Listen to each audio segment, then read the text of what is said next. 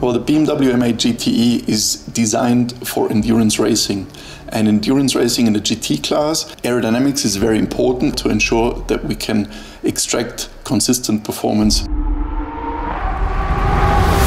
The target on this car was really to try to build a car with very robust, very stable aerodynamic characteristic. The bodywork of the BMW M8 road car helped us a lot in achieving our, our aerodynamic target.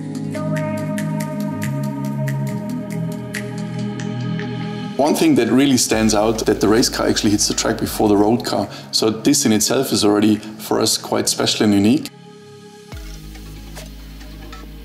We're using the BMW Aerolab for the aerodynamic development of the race cars, and it's the very same wind tunnel that's also being used for the road car colleagues.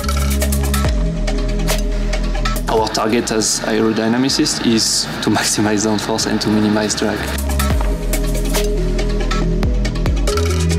We use computer simulation to resolve and to predict the flow field around our race car.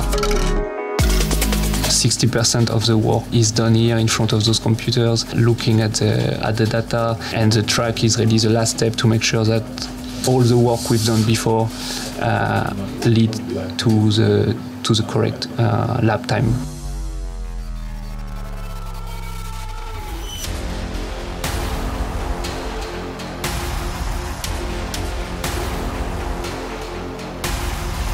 For me as a driver, I definitely can feel it now on track, and it's amazing to have this BMW M8 GTE with such a great performance.